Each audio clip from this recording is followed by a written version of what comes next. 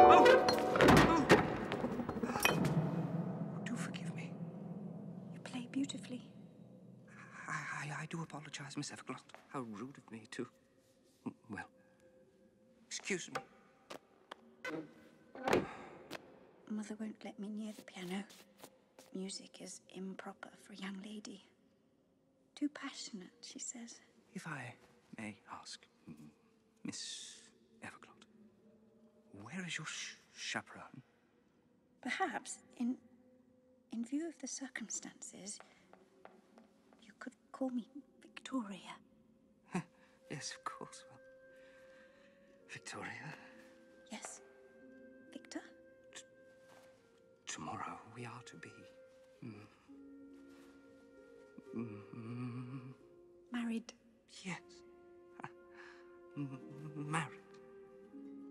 Since I was a child, I, I've dreamt of my wedding day. I always hoped to find someone I was deeply in love with.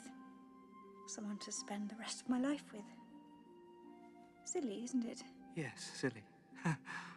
no. No, not at all. No. oh, oh dear. I'm sorry.